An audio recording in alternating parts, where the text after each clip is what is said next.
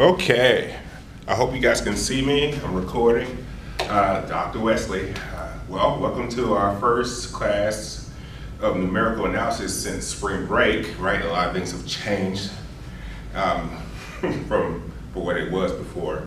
And so, yeah, we have to change with the times. Uh, well, I miss you guys. Uh, I wish you guys were here with me, but that's not the case. So we just have to deal with it. Uh, well, so since there's, I'm essentially teaching to a class that is empty, right? I decided to have two teddy bears take your place. So I have two teddy bears that are staring at me right now. They're taking your place. One is called Buford, the other one is called Gwendolyn. Um, and they're taking your place. They're looking at me, giving me all your love that you guys are showing uh, to me uh, while you're gone. And hopefully I'll see you guys in the, um, in the fall. So anyway, let's pray. Father God, we thank you, Lord, for this day. We praise you, Father God, for your goodness, Lord. And we pray, Father God, that you bless this time, that you make this time yours, Lord God. Pray for, for, for the students who are all over the country, Lord God, who are um, looking at this video, Father God, who are away, maybe in areas and maybe they're scared or maybe they're, uh, maybe they're just tired of just all this mess that's going on, all the negativity, Lord God. We just pray, Father God, for them, Lord God. We pray for peace in the midst of all these situations and the circumstances that they may be facing, Lord God. Give me the words you would have me speak, Lord God. Give us all listening ears, Lord. In Jesus' name, amen. All right, so before I continue, let me make sure that this thing is recording correctly, all right? So I'm gonna come back here just real quickly. Okay, all right, so I think it's recording, so let's get started. Uh, if you guys remember, before the break, we were talking about um, splines, right? That was the last thing we were talking about. And I want to do just like a little brief recap about what we did last time. So let's get started. We're in section 3.5, splines. Okay. Our topics for today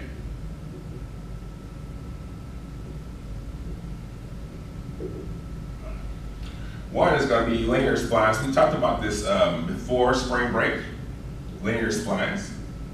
Just going to do uh, example that I did at the um, at the last time we had classes before spring break. I just do that example again. Two, we're going to talk about quadratic splines.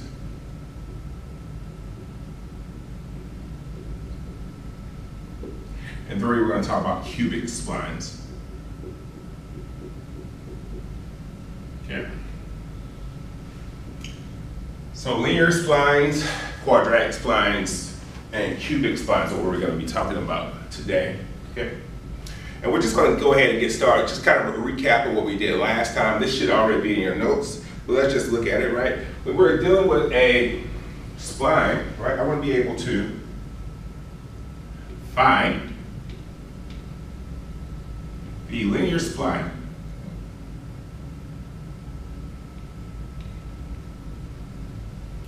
going through the points.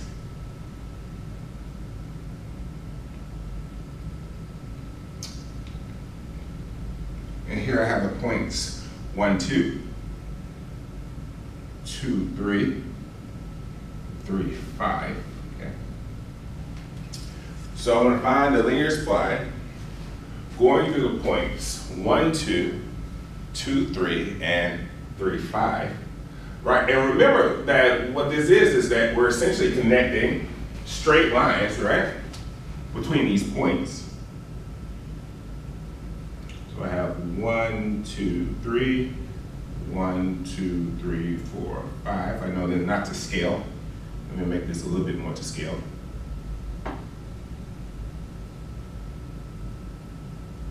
Okay. So we have one, two, this point right here two, three, here, and then three, five over here. And what we're looking at are those line segments between. Connecting this guy to make our spline, right? We have these line segments.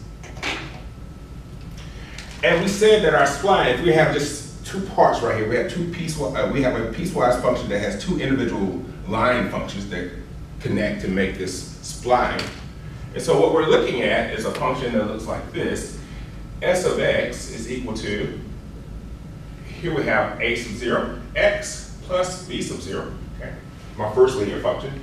And that function is going from 1 to 2 along the x-axis. And then we have another function, a1x, plus b1, and that function goes from 2 to 3. Okay. 2 to 3. And what we said, if you guys remember last time, we gave that each one of these individual functions we can give a name, so we can call the first one s of 0 x, right? a sub 0 x plus b sub 0, and s of 1 x, which is a sub 1 x plus b sub 1. Okay, these are my two individual linear functions, right?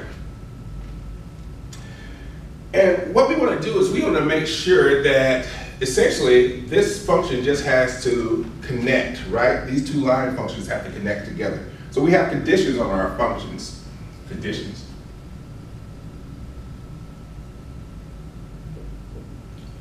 On the spline here. And the first one is that essentially what we want to do is we just want to make sure that at those points, my spline is equal to my function value at that place, right? So here I have to have that S of i and T sub i. Each one of these values, was 1, 2, and 3, represent my T0, T1, T2. It's been a while since we talked about that. It's equal to f of T sub i, my function value at that location, which would be 2 in this, in this, in this situation. And S of i at T of i plus 1 has to be equal to f of t sub i plus 1. Okay? So essentially at this location, at 2, I need my function to be equal to 3, right? So for this first one, I need it to be equal to 1, uh, 2 at 1, and 3 at 2, okay? And these are called essentially my interpolation constraints.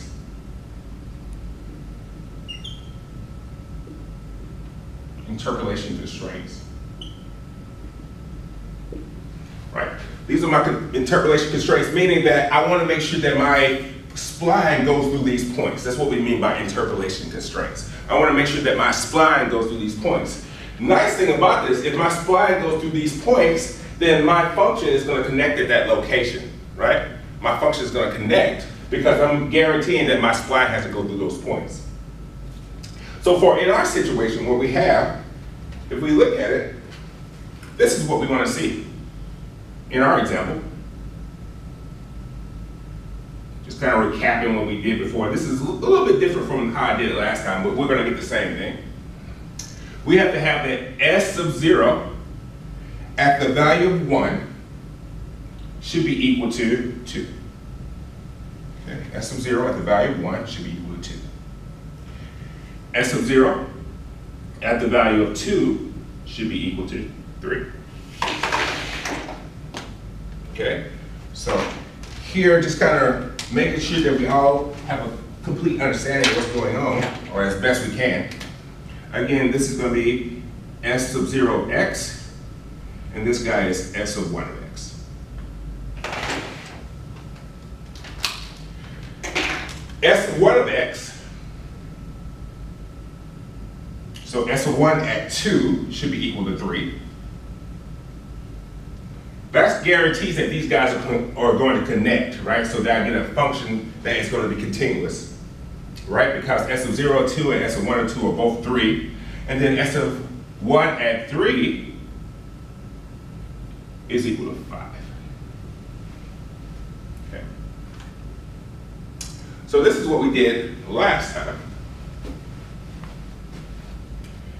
Okay, so these are my conditions. These are all the conditions that I need to be able to guarantee. These are my interpolation constraints.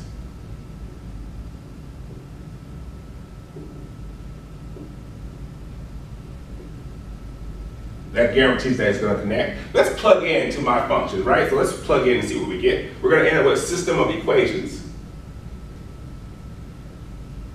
System of equations right? So when I plug in one into S of zero, right, just, just like we did last time, we get A sub zero plus B sub zero has to be equal to two. plug in 2 into S of 0, right? We get 2 A sub 0 plus B sub 0 has to be equal to 3. Okay. Plug 1, um, 2 into S of 1, we get 2 A sub 1 plus B sub 1 is equal to 3. Okay, so just kind of like we did before, no big deal, hopefully. Breathe in, breathe out.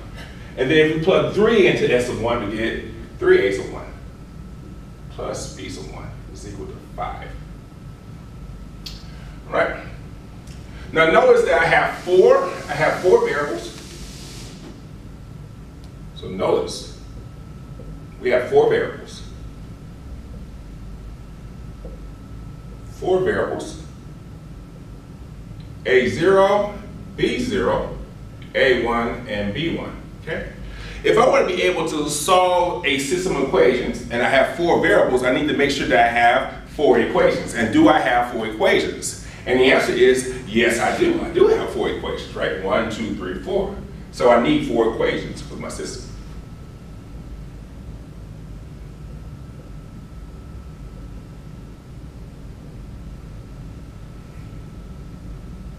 I do indeed have four equations, right? I have four variables. I need to solve for those unknowns, right? I have four equations that let me solve it. And I'm going to do again a little bit different from what I did before because I want to be able to expand this idea to quadratic and cubic functions, uh, cubic splines.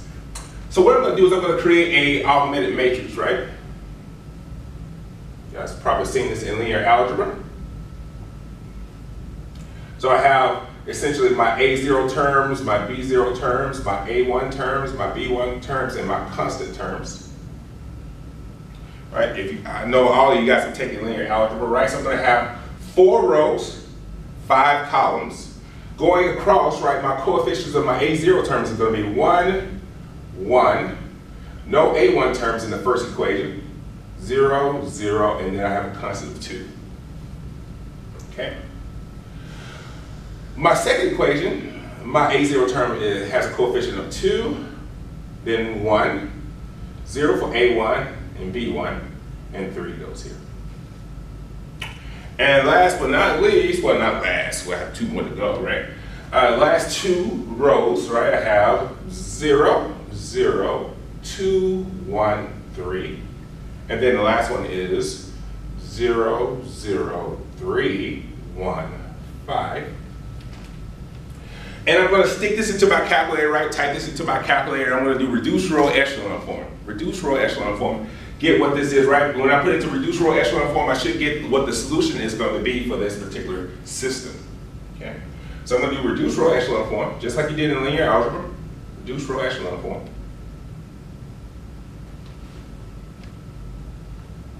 Okay. When I do reduced row echelon form, what do I end up with, right? That's the question what do I end up with? And I, if you typed it in, you should get something that looks like this. One, zero, zero, zero, one. Zero, one, zero, zero, one. Zero, zero, one, zero, two.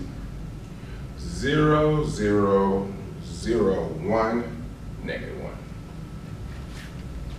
And this tells me the same thing. Now I can read off, this is still the A0 column, this is still the B0 column, this is the C0, uh, A1 column, B1 column, this is the constant columns. So my solution, when I work it out, my solution, now that I have it in this reduced row echelon form, is going to be that A0 is equal to 1. B0 is equal to 1. A1 is equal to, in this case, 2, and B1 is equal to negative 1. Okay, this is what I get. So what is my spline? What's my linear spline look like? We have the S of x is equal to, reading off, right, plugging in our values, we get x plus 1. x goes from 1 to 2. The other one is going to be 2x minus 1. x goes from 2 to 3. So here's my spline. my linear spline. Kind of a recap of what we did before. If you look in your notes, you'll probably see this exact same problem, right? We did it slightly different, but the same same thing, same way of, of solving, right? We get the same system that we got last time we did it. And so here's my solution. Here's my linear spline. And again, I want to reiterate, to be able to solve this, because we had four variables, right? We needed four equations to be able to solve this uh, system, okay? So the question is, okay, I can do lines, right? But lines are not that great, right? It's not very good in really approximating my my uh, function that I might be trying to approximate here. With maybe these, these are my function values, right? In particular uh, values of x, right? So I want to be able to approximate this as best I can. Lines are not really that great for doing that, right? So it said, okay, well, instead of using lines, why can't we use quadratic functions? So we can. So let's let's see if we can do quadratic functions.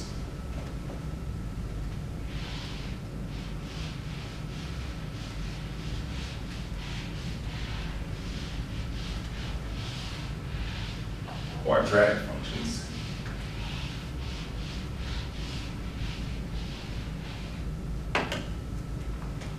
So let's ask the same question.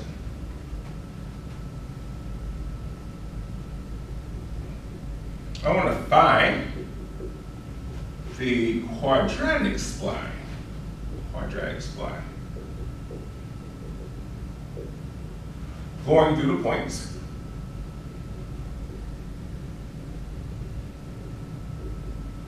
One, two, two, three, and three, five.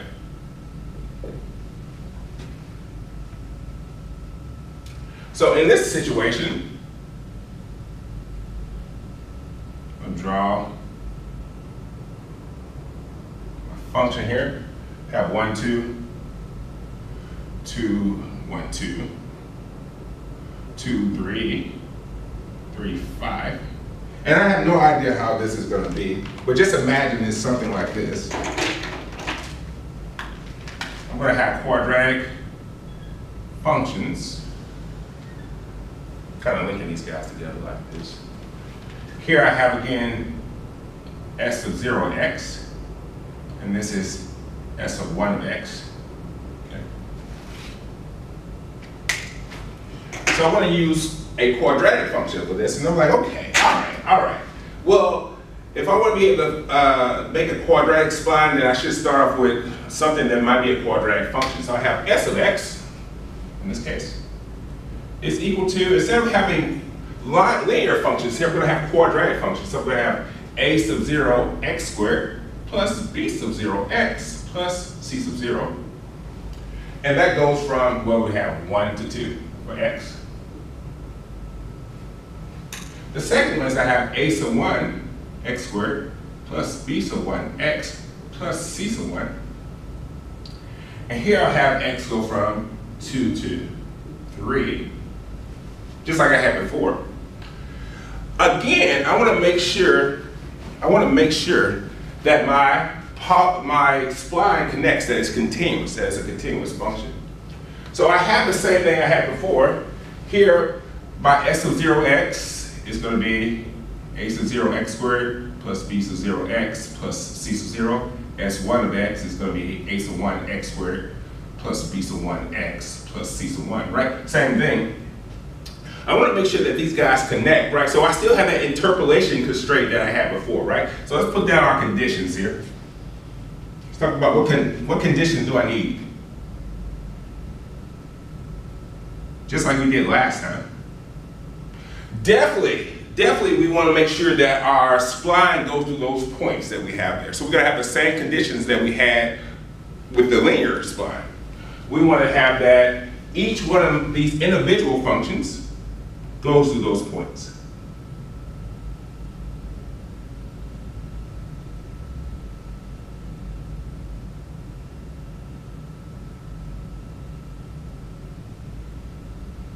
Okay?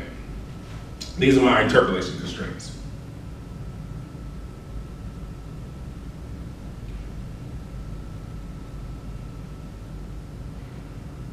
But notice, for each one of my individual functions, for each one of my individual functions, how many, how many variables do I have? I mean, unknowns that I have. I have A0, B0, and C0, right? I have three unknowns, A0, B0, and C0. Here I only have two constraints, right? Which is going to only give me two equations when I do my system of equations. That's not enough. I need another constraint. I need another constraint so that I can have at least three constraints, uh, three constraints so I can solve for A0, B0, and C0. So I add another constraint. I'm saying, okay, I, I want to make sure that the polynomials connect, right? That's great. But let's say, okay, let's make sure that at the place where they connect, right, here's an additional constraint, at the place where they connect, I want to make sure that their derivatives are equal to each other. So at the places where they connect, I want to make sure that their derivatives are equal to each other. So we're going to add that constraint as well. So here's the next constraint. We're going to say that S of i prime at t sub i plus 1 has to be equal to S sub i plus 1 prime at t sub i plus 1. And this is going to be a first derivative continuity constraint.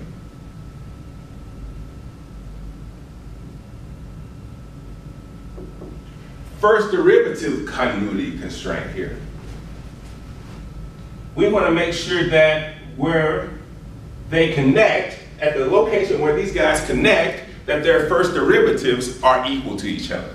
We don't know what those first derivatives are, right? If we knew that, that would be great, but we don't, right? We want to make sure those first derivatives aren't equal at that location.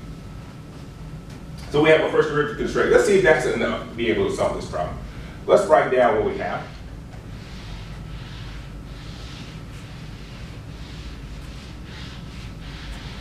Uh, just to conserve a little bit of space, okay, let me put them over here. Okay. Let's look at what we need to do.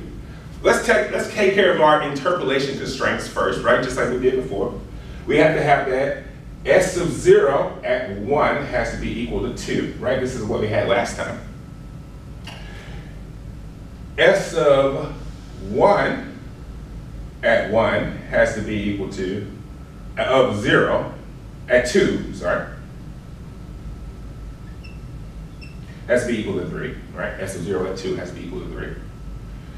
S of one at two also needs to be equal to three, okay? And S of one at three is supposed to equal to five. So that gives me, that gives me a total of four equations, right? Now let's add in our first derivative continuity constraint, meaning that at the location where they meet, I want their derivatives to be equal to each other. I want their derivatives to be equal, right?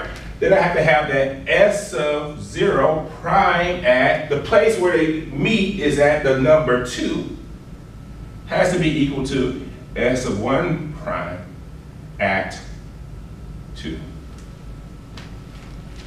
How many constraints does that give me? Well, we know how to count. One, two, three, four, five. That is five equations that I'm going to get when I do this. How many unknowns do I have? How many unknowns do I have? I have six unknowns. I have six unknowns. I need another constraint, right? I need another constraint to be able to solve this system of equations, right? I need another constraint.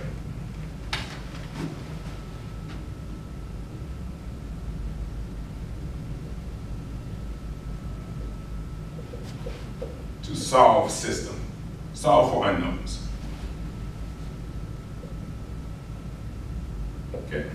A0, B0, C0, A1, B1, C1. I have six of those guys. Now, what constraint do what constraint do I uh, can I use? You can use almost any constraint you want. You can, right? Most people do this. They say, okay, I need to find another place where the derivative, I want the derivative to be a certain value, right? So a lot of people just say, they're either say that at the initial point or at the end point, I want my derivative to be a certain value, okay? So what we're gonna do is we're gonna do the same thing. We're gonna add the additional constraint of this. We're gonna say that the derivative at s of zero, my first uh, individual function, at t sub zero has to be equal to z naught, right? Where Z naught can be any real number. Any real number. Now, in this case, we're going to let Z naught equal zero, just because it's easy. Do we have to choose Z naught to be equal to zero? No, we don't have to choose Z naught to be equal to zero, but we, we allow Z, uh, Z to equal zero because we don't have any, any other information. If I actually knew what the function was, if I knew what the function was, maybe I could use the function value at that location. The function, the derivative of the function value at that location, right? So if I add this additional constraint, if I add that con uh, additional constraint, then what I get is this, I'm gonna put it down here. I have here that S sub zero prime at, what do we have here? Zero, or not, what's my T naught, one in this case, is gonna be equal to zero.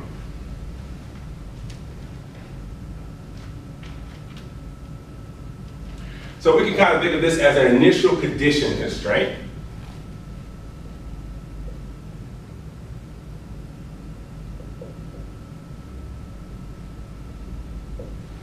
initial condition constraint. And now guess what? I have one, two, three, four, five, six equations. And with those six equations, I should be able to find all six unknowns. So now that we have our six equations, right, let's fill it out. Let's, let's do it now. For the first one, if I plug one into S of zero, I get, what is that gonna be? Let's see my system. I get A0 plus B0 plus C0 is equal to 2. Okay. If I plug 2 into S of 0, I get 4A0 plus 2B0 plus C0 is equal to 3.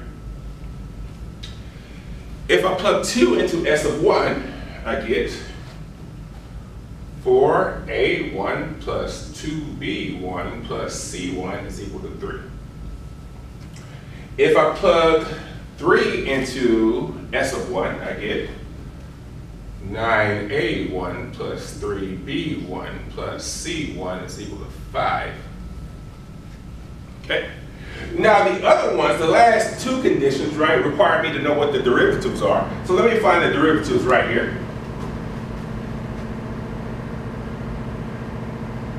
Of S sub 0 prime is going to be equal to, take the derivative of this, 2a sub 0 x plus b sub 0. S sub 1 prime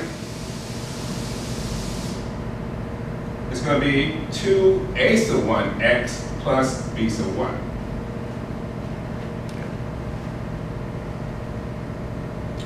Now that I know that information, we can find the last two equations, right? Plug 2 into S of 0. I get 4 A sub 0 plus B sub 0 is equal to plug 2 into S of 1 prime. I get 4 A sub 1 plus B sub 1. And finally, plug 1 into S of 0 prime and I get 2 a sub 0 plus b sub 0 is equal to 0. That's a lot, isn't it? We haven't done we haven't done the cubic spline, and uh, and that's going to be a little bit more more fun, as you can imagine. I might have to erase the board. I might have to erase some of this stuff over here. But I think we can at least get this part in here, what we have right now. Okay, so what is my what does my matrix look like, right? Let's, let's look at that real quick. So if I toss this into an augmented matrix, right, solve this.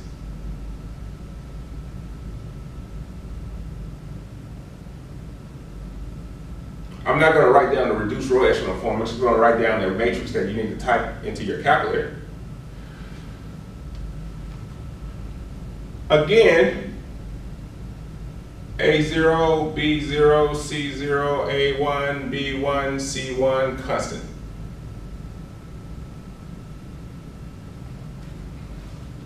Notice that I'm going to have six rows and seven columns, six, six rows and seven columns, if I can talk.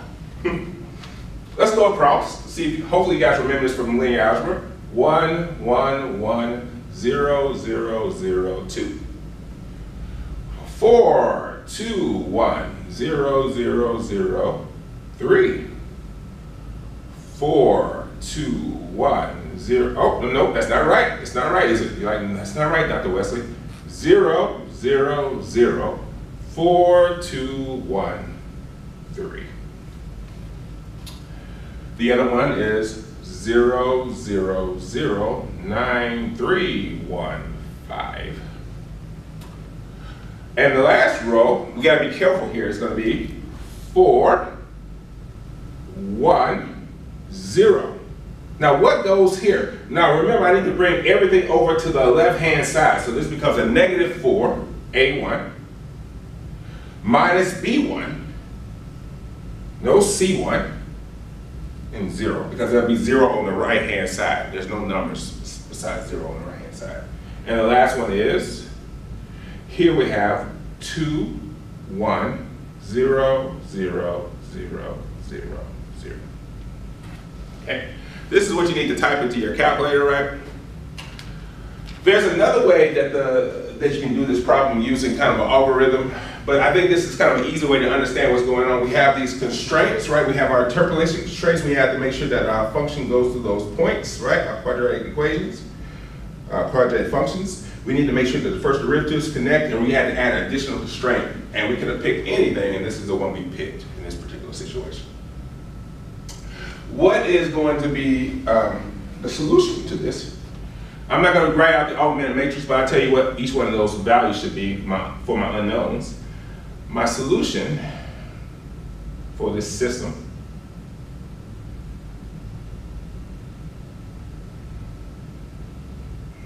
is that I get that A0, I'll put it right here, is equal to 1. B0 is equal to negative 2. C0 is equal to, uh, I have 3. Okay. A1 is equal to, I have that to be 0. B1 is equal to 2.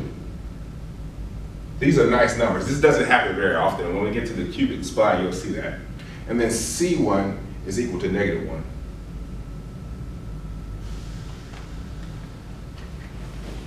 So A0 is equal to 1, B0 is equal to negative 2, C0 is equal to 3, A1 is equal to 0, B1 is equal to 2, C1 is equal to negative 1, okay? That's what we have. So my spline is going to look like this. S of x, put it right here. I'll box it. My spline looks like this. x squared minus 2x plus 3, x from 1 to 2. And the other one is 2x minus 1, x goes from 2 to 3.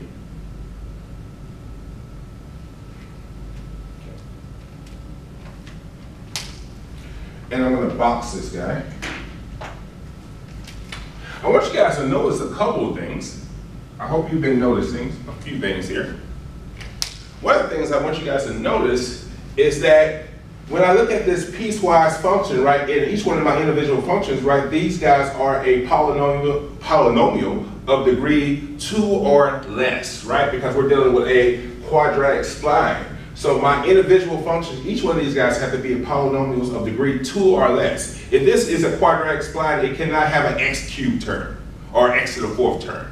It has to be x squared x or a constant term that we have for our individual functions, right? Which is what we want to see. I want you guys to also notice that indeed, if I were to plug in my values of x, 1, 2, and 3, into the spline, I'm going to get 2, 3, and 5 respectively, right? Which is what we want to see. And if I were to take the derivative of this function, right? and evaluate it at two, you'll see that the derivatives are equal at that location. Okay? Which is what we want to see.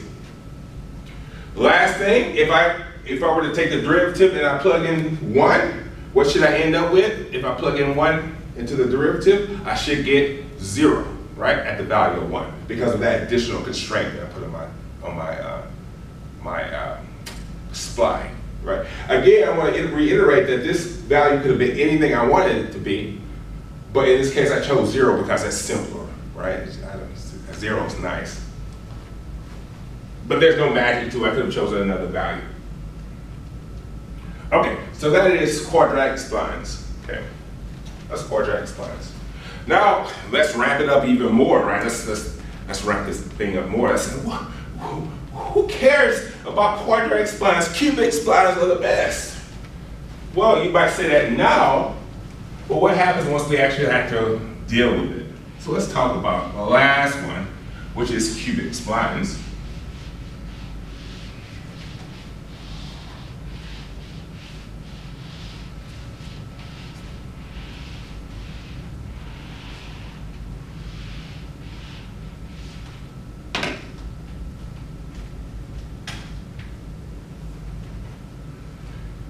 And here it is, find the, oh, blue, I don't want blue, I want black. Find the cubic spline going through the points.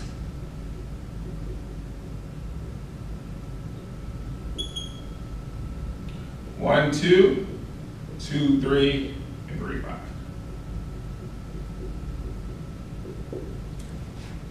I'm not going to draw a picture because it looks very similar to the um, quadratic spline, right? We might have a little bit more of a curve, right? We might have to go up and then down, so it curves twice. But in general, it's about the same type of graph. But we'd be able to get a better approximation because we have that we have the ability to curve twice within a certain interval for each one of my cubic functions. Right, so what's this guy look like? Just just like we had before, we're going to have now s of x is equal to, instead of having quadratic functions there, we're going to have cubic functions. So we have a0 x cubed, right, plus b0 x squared plus c0 x plus d0, right? x goes from 1 to 2. And then the other one is going to be a1 x cubed, right? Plus b1x squared plus c1x plus d1. x goes from 2 to 3. Okay. This is what we have. All well and good. All right. So we knew when we went to quadratic splines that we did not just doing the interpolation constraint was not enough. So we had to in, introduce the first derivative constraint, where the first derivatives uh, are equal, where the, the two functions connect, right? And then we had to add an additional constraint, right? So let's let's just start with what we, we know. We, we know that we have four unknowns per individual function. So we have eight total, right? Eight total unknowns that we need to be able to solve for. That means we need to have eight equations total, right? For our system of equations over there. So we have eight, we have eight unknowns, so we're gonna need eight equations. So let's just talk about our constraints again, right? So what are our conditions here? Well, definitely, we have the same condition we had before, where we have the interpolation constraints. S of i at t sub i has to be equal to f of t sub i have to meet at that place. And then S of I at T sub i plus 1, that's equal F sub T sub i plus 1. Okay? So that's going to give me my interpolation constraints.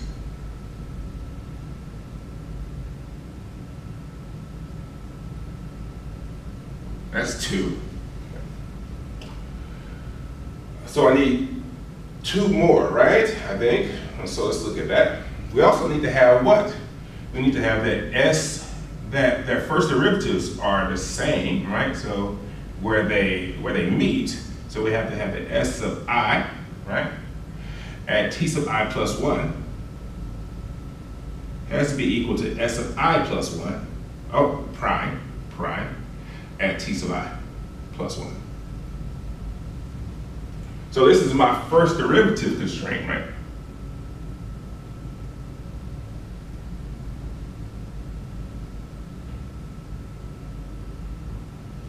Okay, that gives me three, gives me three, okay? Uh, then we say, well, that first derivative works so well, if we're dealing with a cubic spline, then I can go to the second derivative. So why not say that the second derivatives have to be the same where they meet? So let's do that too. We'll say, okay, okay, the second derivatives have to be the same where they meet.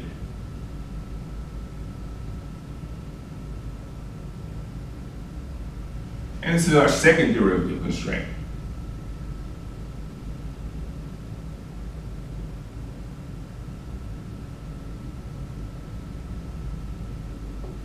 Okay. There's four conditions. Is that enough? Will that be enough to be able to solve this problem? That's the question. Well, we have four. There's four equations here, so let's let's just let's just put them down and see what we get. Just kind of like we did before. I want you guys to also think about. I want you to write out what those conditions are, right? Just like we've done the, the previous time, right? Write the system. See if we need any more additional constraints, right? So you can pause the video and do that. Write it out see what you get. Do we have enough equations to be able to solve this problem? Well, I hope you did that. I hope you paused the video and tried to do it yourself and see if you had enough constraints, enough equations to be able to solve this, right? So let's let's get started where we left off, right? So this is going to be here. We're going to have. I'm to put it up here. Let's, let's, I know I'm using space. This is really crowded. I apologize, but let's let's bear with it a little bit. Here is s sub zero of x is going to be a sub zero x cubed, right? Plus b sub zero x squared plus c sub zero x plus d sub zero. S1x is going to be a sub 1 x cubed plus b sub 1 x squared plus c sub 1 x plus d sub 1. Okay? So those are my guys. So what this says, if we go by our constraints, right, let's do our interpolation constraints. We need to have that s sub 0 at the value of 1, right, has to be equal to 2. s sub 0 at the value of 2 has to be equal to 3. S of 1 at the value of 2 has to be equal to 3. And S of 1 at the value of 3 has to be equal to 5. So those are all my interpolation constraints. My first derivative constraint says that the place where they meet, the places where they meet, they have to be equal in terms of their derivative. The only place they meet is at 2, so S of 0 at 2 has to be equal to S of 1 at 2. You're like, no, no, Dr. West, so that's true, but what you mean is prime. So I want the derivatives at those locations to be equal. And the last one that we have here, the only place where they meet for the second derivative is at 2. So we're going to do s of 0 double prime of 2 has to be equal to s of 1 double prime at 2. How many constraints do we have here? Well, let's count them up. This is like Sesame Street. One, two, three, four, five, six constraints, right? Six constraints. How many constraints do we need if we want to be able to solve uh, for all my unknowns? Again, we need eight constraints, right? We need eight constraints to be able to do that. We need eight constraints to be able to do that. We only have six, so we need to come up with two more constraints, right? And what those two constraints, well, it can be anything you want them to be, right? But there are two traditional constraints that people often use, right? There are two traditional constraints that people often use that doesn't cause any issues later on. So we need to talk about both of those.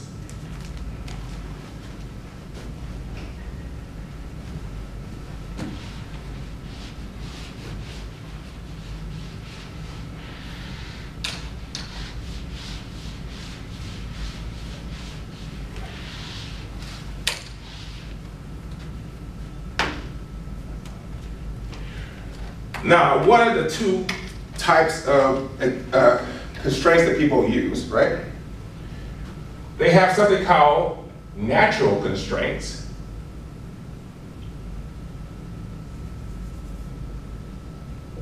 Natural constraints. And they say this, that my second derivative at the endpoints are both zero.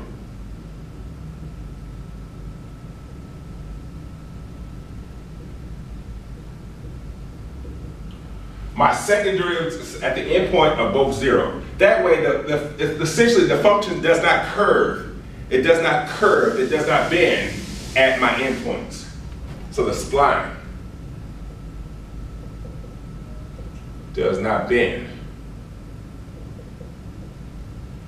at the endpoints. It essentially just continues to follow whatever the slope was at that location, right? Remember that the second derivative deals with curvature of a function, right? So essentially you're saying that there is no curvature of the function at the endpoints, right? So it, it, it keeps that natural slope that it had in the beginning. So this is called the natural constraints, right? So we don't impose any, any curvature on the function at those endpoints. And the other one that we have is called clamped constraints.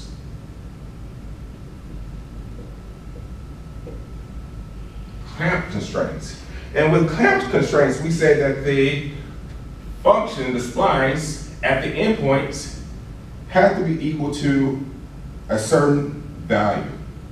It could be the function, the derivative of the, of the function, or whatever it may be. So we can say this is z naught, and I'm going to call this one, as the last one, z sub n.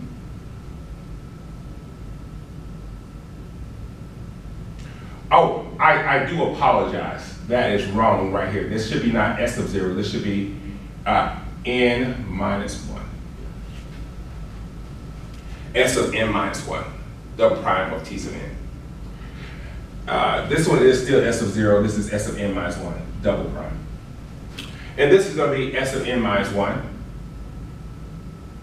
prime at T sub N is equal to Z1 or these are just any real number values.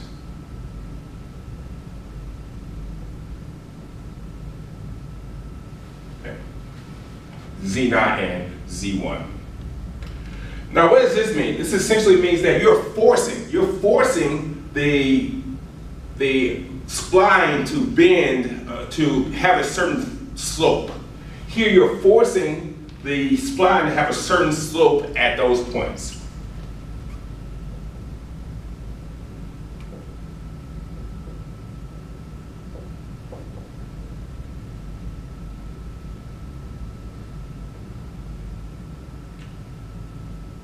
At the endpoints.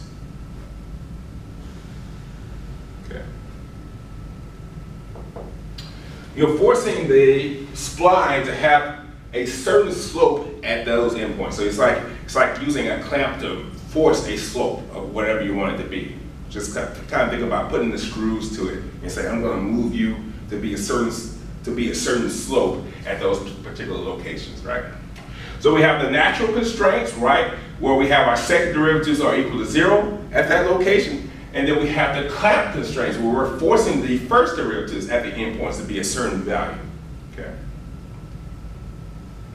We're gonna look at both of those situations for the, for the cubic spline. So we're gonna look at the natural cubic spline and then the clamped cubic spline. So the natural cubic spline and then the clamped cubic spline.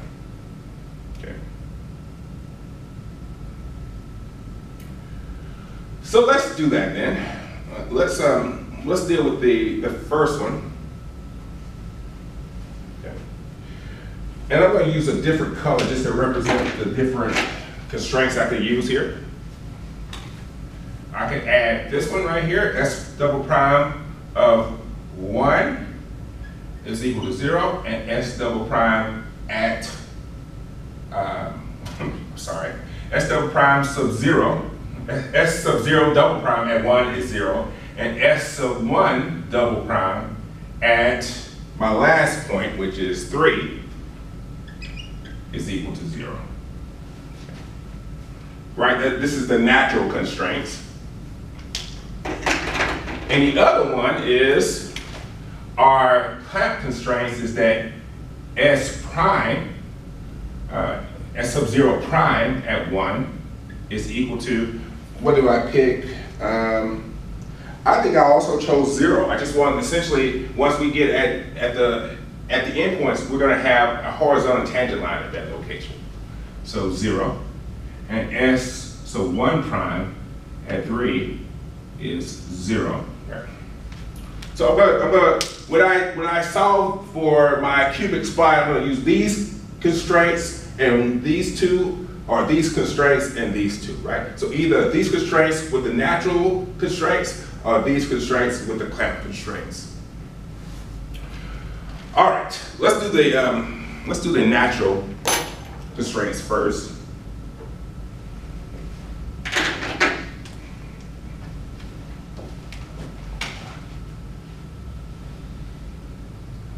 So let's do natural spline. I'm gonna have to erase some stuff. I apologize. Uh, it's, it's probably gonna be this stuff over here. Okay, natural spline. Let's plug in and see what we get. If I start with my first constraint, right, plug in into S of zero, I get A0 plus B0 plus C0 plus D0 is equal to 2. S of 0 at 2, I get, what's that, 8? 8A0 plus 4B0 plus 2C0 plus D0 is equal to 3. S of 1 at 2 is 3, so plug in 2 into S of 1, I get 8A1 plus 4B1 plus 2C1 plus D1 is equal to 3. Okay. Plug in my last value, which is 3 to S of 1, and that becomes 27 a1 plus 9B1 plus 3C1 plus D1 is equal to 5. It takes care of my interpolation constraints. Now I need to make sure that my derivatives are equal at that location, right? My derivatives are equal uh, at 2. So let's find out what is the derivative of S of 0. So S of 0 prime is equal to 3a0 x squared plus, was that 2b0? x plus c0, right? S1 prime is equal to the same thing, but instead of a0, we have a1. And let's go ahead and find the second derivative, because we know we're going to need it. S0 double prime is equal to 6a0x plus 2b0. And S1 double prime is equal to 6A1X plus, oh, this should be an X here. Thank you guys for telling me about that. Appreciate that. Okay, this should be plus 2B1. Okay. I can feel your vibes. I, I knew that you were saying you forgot the X, Dr. Wesley. So I appreciate that. All right, so now that we have that, let's let's do this this this equation right here, right? So we have to have the S0 prime at 2 is equal to S1 prime at 2, right? So S0 prime at 2 is going to be, what's that, 12 A0. Uh, what's that, plus, what's that going to be, 4 B0 is equal to plus C0 is equal to 12A1 plus 4B1 plus C1. Can you see how big this is getting, right? This is huge, right? Uh, and then my, and I'll, I'll put the other ones here, right? We have that 12A1. No, I'm on the wrong one, right? We've already done that. So we've done This one gives me this one right here, right? Now I'm gonna do the second derivative, right? So second derivative, if I plug in two, what do I get when I do that? My huge system of equations here. I get 12, A0, 12, A0 plus 2B0 is equal to 12A1 plus 2B1.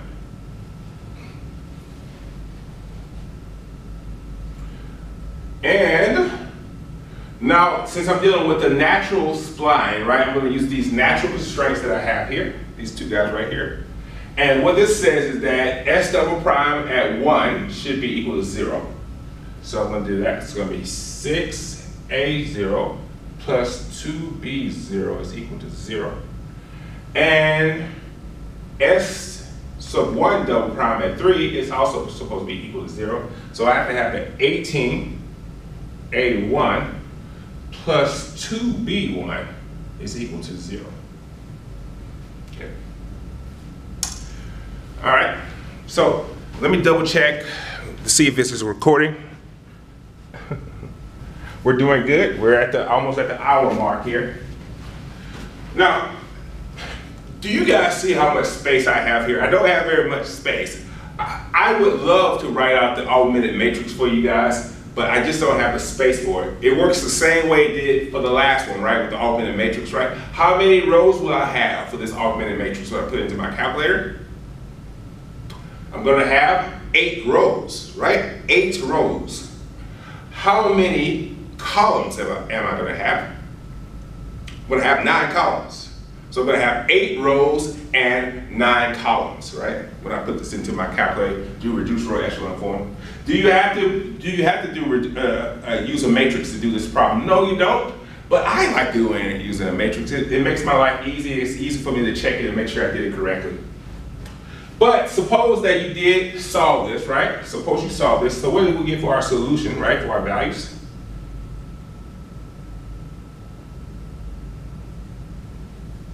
Okay. I apologize. I had to use even less space than I, I usually use to be able to do these problems, which is which is terrible. I hope I'm not writing too small. If I am, i am going to check after this video to see if it's too small, and then I'll write bigger for the other videos if that's the case. I don't think I'm going to redo this video again. I apologize for that too. so what do I get when I do this? If I work this out correctly, what do I get? I get this. I get that. Well, let's let's come over Let's let's get more space.